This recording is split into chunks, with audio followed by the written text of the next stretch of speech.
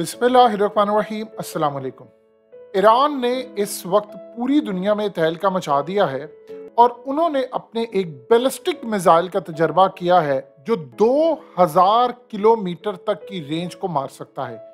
यहाँ जो सबसे ज़्यादा इंटरेस्टिंग मामला ये है कि ईरान का ये जो बैलिस्टिक मिसाइल है, वो तकरीबन छः मिनट के अंदर ईरान से इसराइल की जानी मार कर सकता है और वो पूरे इसराइल को तबाह कर सकता है।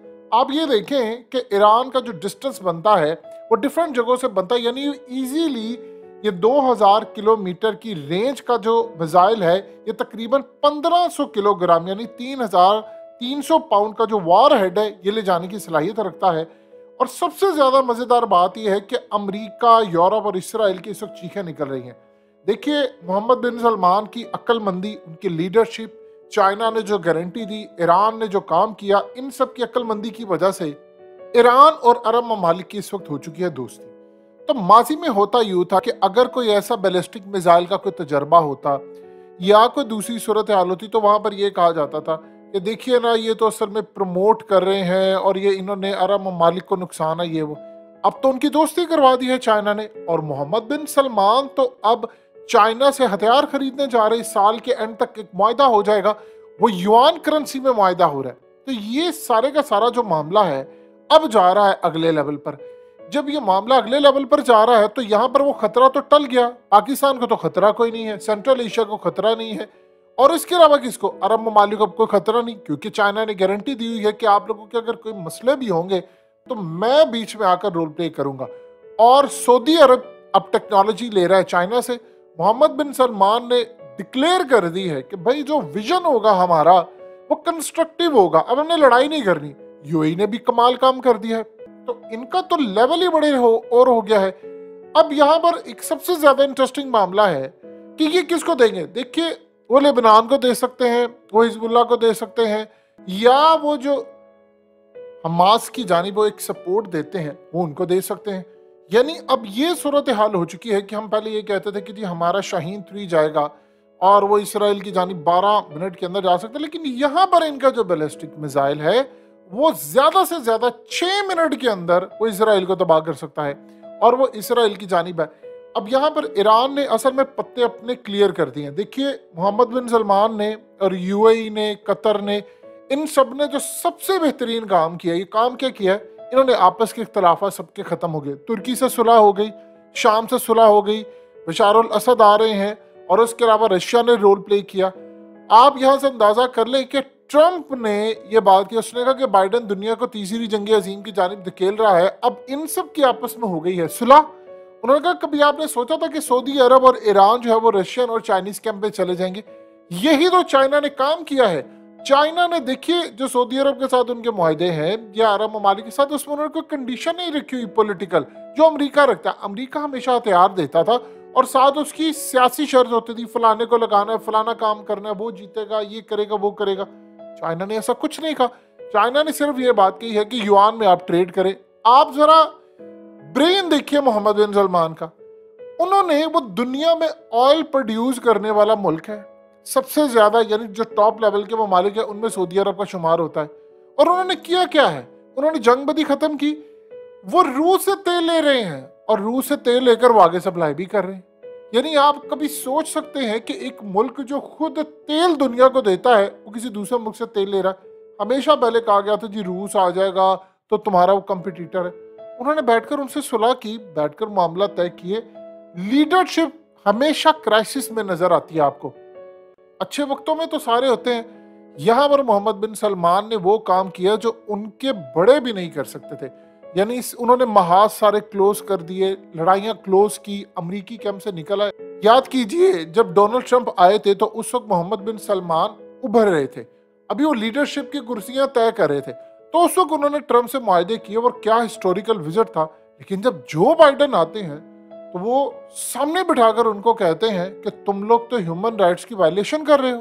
तुम लोग तो इंसानी हकूक की खिलाफ वर्जियाँ कर रहे हो। आपने कभी ज़िंदगी में तारीख उठाकर देख लें, शाह फैसल के बाद कभी किसी लीडर को इस लेवल पर जाकर आपने देखा है कि वो ये इस तरह तगड़ा होकर किसी के सामने खड़ा हो? तो ये काम वो करें। उन्होंने ईरान से भी सुलह कर ली। उनके अब ऑफ़िस खुल रहे हैं एम्बेसिस खुल रही हैं बैक टू नॉर्मल आ रही हैं चीज़ें। तो लिहाजा अब जो ईरान के मिसाइल हैं वो सिर्फ़ और सिर्फ़ उनका टारगेट होता है इसराइल। उनको कोई मसला नहीं है और वेस्ट इस वक्त चीखे मारे ईरान की डिफेंस मिनिस्ट्री ने क्लियरली कहा, उन्होंने कहा कि देखे हमने अपने दिफा के लिए काम करना था। अब ये देखिए, उन पर पाबंदियाँ हैं।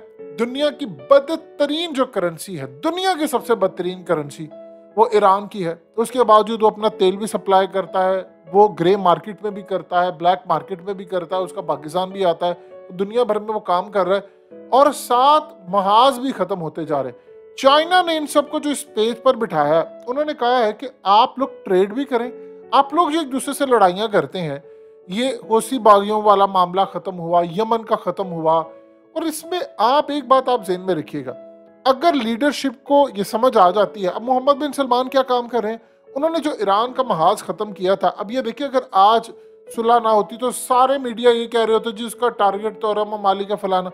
उन्होंने वहाँ पर प्लान करे, मोहम्मद बिन सलमान, कि क्रिकेट का वर्ल्ड कप हो फुटबॉल का वर्ल्ड कप हो न्यूम सिटी और इवन के सबसे बड़ी बात यह है कि उनकी जो टूरिज़्म वो बढ़ा रहे हैं, वो कह रहे हैं कि नबी पाक सल्लल्लाहु अलैहि वसल्लम के दौर से पहले और उनके दौर की जो पुरानी पूरे सऊदी अरब के अंदर हिस्टोरिकल प्लेसेस हैं, उन्होंने अपनी टीम को टारगेट दिया है कि इसको डिस्कवर करें। इवन के सऊदी अरब के अंदर हाईवेज मिले हैं, उनको पाँच हज़ार साल पुराने राउंड अबाउट मिला है। ब्रिज के आसार मिले हैं। आप बताइए, ये जो हाईवेज हैं ब्रिज है राउंड अबाउट है, ये किस मकसद के लिए? ऊंटों के लिए तो राउंड अबाउट आप यूज़ नहीं करेंगे। ज़ाहिर सी बात है, या तो कार होगी या कार जैसी टेक्नोलॉजी होगी।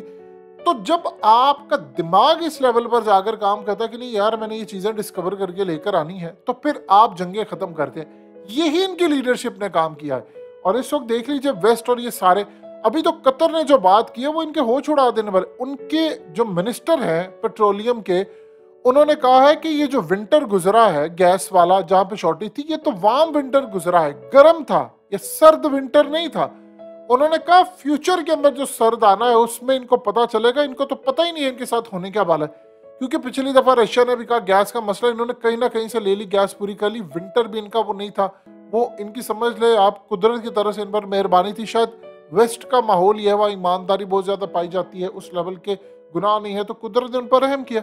तो अगली सूरत हाल में कब तक ये मामला चलेगा, ये तो आने वाला वक्त बताएगा। लेकिन एक चीज़ बड़ी इंटरेस्टिंग हो गई है, इन सारे ममालिक ने एका किया हुआ है इस वक्त। ये मतलब खड़े हो गए हैं। स्टैंड इन्होंने कर लिया है कि हमने आपस में नहीं लड़ना और हमने बैरूनी दुश्मन के खिलाफ लड़ना है और उन दुश्मन को अब जो सूरत हाल सामने आ रही है वो क्लियरली नज़र आ रहा है कि यार ये सारे तो एक हो गए हैं, आपस के इख्तलाफा इनके खत्म हो गए तो अब फिर टारगेट क्या है अब फिर टारगेट वही है जो ईरान कह रहा है, मैंने इसराइल को नहीं छोड़ना। और वो कह रहा है कि जी मेरी अपनी हिफाजत है, वरना आप बता दें इर्द गिर्द उनके जो मामला थे वो सारे खत्म हो गए हैं। पाकिस्तान के साथ उनके मामला बेहतर है, अफ़गानिस्तान के साथ उनके मामला बेहतर हैं, Russia central Asian countries Iraq से लेकर बाकी सारे तो ओके रह गया बाकी इसराइल। तब जो भी मिजाइल, जो भी चीज़ें होंगी, वो उनका निशाना असल में वो इसराइल को रखेंगे कि छः मिनट के अंदर वो पूरे इसराइल को सफस्ती से मिटा सकता है।